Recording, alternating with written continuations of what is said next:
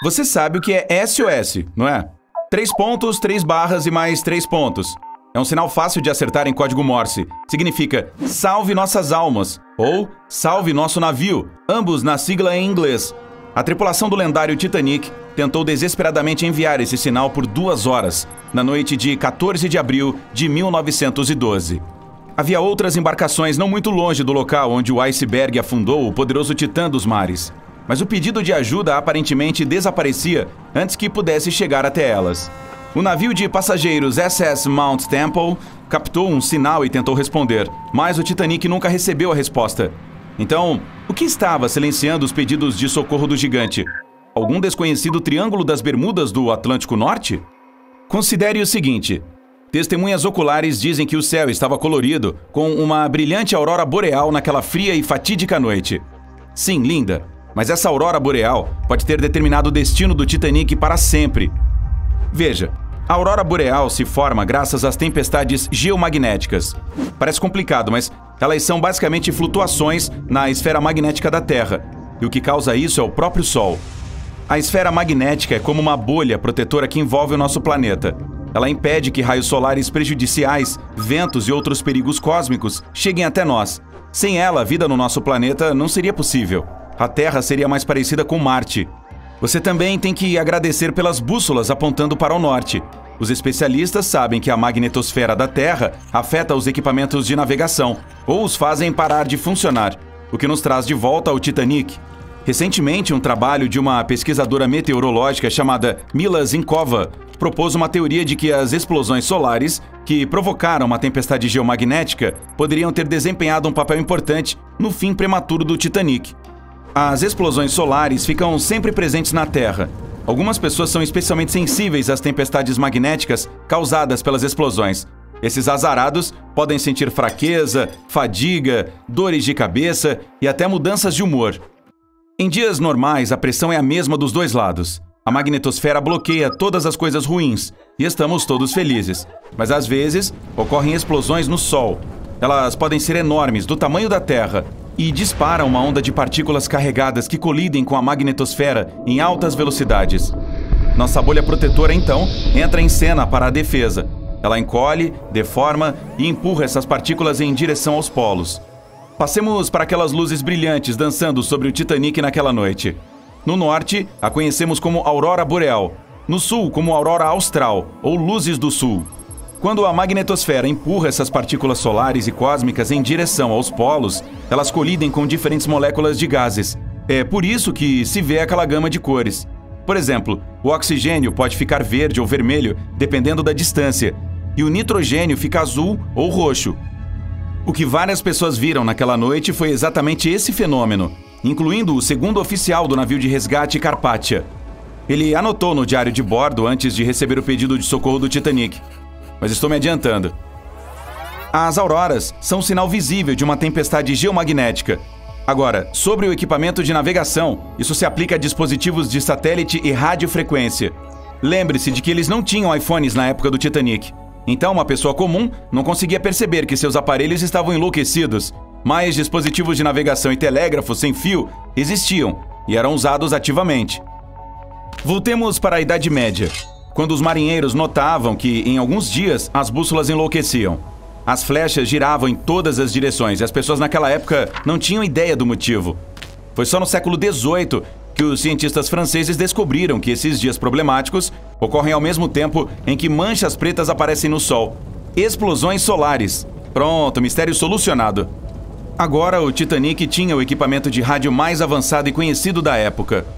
Eles o testaram exaustivamente para se certificar de que funcionava em distâncias de até 3.200 quilômetros. O Titanic passou em todas as provas. No dia 10 de abril de 1912, o enorme transatlântico deixou Southampton e partiu para Nova York.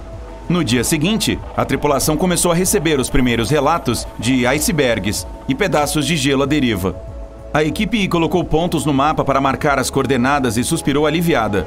Todos os pontos problemáticos estavam ao norte da rota planejada do Titanic. Mas depois de alguns dias, as advertências indicavam cada vez mais para o sul, o que prejudicaria o majestoso navio. No dia 14 de abril, o capitão Edward Smith decidiu mudar o trajeto para o sul na esperança de contornar o gelo. isso acabou sendo um grande erro. Voltemos para a tempestade magnética. Se o equipamento de navegação estivesse danificado, mesmo por um pequeno erro de meio grau, o comandante poderia ter levado a embarcação por engano na direção de um aglomerado de icebergs. O que ainda é pior, os operadores de rádio ignoraram os avisos vindos de outros navios. Ou isso, ou simplesmente esqueceram de repassá-los ao capitão.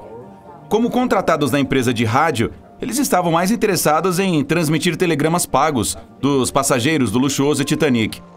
O transmissor de rádio parou de funcionar naquela noite provavelmente por causa de todo o tráfego de mensagens particulares. Quando finalmente foi consertado, o operador Jack Phillips recebeu outra mensagem do SS Californian às 22h30. Era uma tentativa para avisar Phillips sobre as coordenadas de icebergs à deriva, mas ele não deu atenção, porque estava nervoso e com pressa. A tempestade magnética era a culpada pelos nervos à flor da pele e o mau humor? Podemos apenas especular. Mas como você sabe, algumas pessoas são mais sensíveis a essas coisas. O clima estava bom, o oceano estava calmo, a água estava lisa como vidro. Apesar de todos os avisos, o navio continuou a navegar a uma velocidade máxima de 40 km por hora. Uma hora depois, o Titanic colidiu com o terrível iceberg. No dia 15 de abril, à meia-noite e 14, os operadores do Titanic começaram a transmitir os primeiros sinais de pedido de socorro. O SS Californian estava navegando a apenas 32 quilômetros da embarcação e poderia facilmente ter ido para um resgate rápido. Mas 10 minutos antes do desastre, o operador de rádio do Californian tinha ido para a cama. Ele era o único que entendia o código Morse no navio. De acordo com esta nova teoria, as anomalias magnéticas possivelmente bloquearam as mensagens do Titanic para os outros navios. Por exemplo, o vapor SS La Provence não recebeu nenhum sinal de embarcação naufragada. No entanto, ainda estava recebendo transmissões de outro gigante, o Olympic, que estava a 800 quilômetros do Titanic. Naquela noite, os sinais estavam estranhos. Eles simplesmente se perdiam em algum lugar do espaço.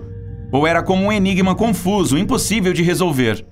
O SS Mount Temple recebeu uma mensagem e correu para ajudar o Titanic. Mas, como quis o destino, ele ficou preso no gelo. Chegou até nas últimas coordenadas conhecidas do Titanic, mas o transatlântico de luxo estava longe de ser visto. Então as coordenadas eram realmente precisas? O vapor Carpathia estava a cerca de 100 quilômetros de distância. À meia-noite e meia, seu operador de rádio disse à tripulação do Titanic que eles estavam indo para o resgate. Famoso pela ajuda, o Carpathia foi a toda velocidade. Mas aqui está a parte estranha. No início, foi para o lugar errado. A tempestade magnética pode ter desregulado seu equipamento. A boa notícia é que acabou chegando no lugar certo, ao ver os botes salva-vidas cheios de passageiros. Curiosamente, assim que chegou ao continente, o Carpathia não teve problemas com seu equipamento. O blackout aconteceu próximo ao local dos destroços. A investigação que houve depois culpou os radioamadores por bloquear os sinais. Agora podemos saber que pode ter sido o contrário. Zinkova explica que, naquela época, não se sabia exatamente como e em que medida o Sol influenciava a Terra. Ninguém poderia ter adivinhado que o Sol poderia adulterar o equipamento de navegação desses enormes navios, especialmente aquele que tinha o melhor dos melhores da época. A outra teoria de que até a Lua poderia ter desempenhado um papel nessa história. Alguns pesquisadores afirmam que, em janeiro de 1912, nosso satélite natural estava mais perto da Terra do que o normal.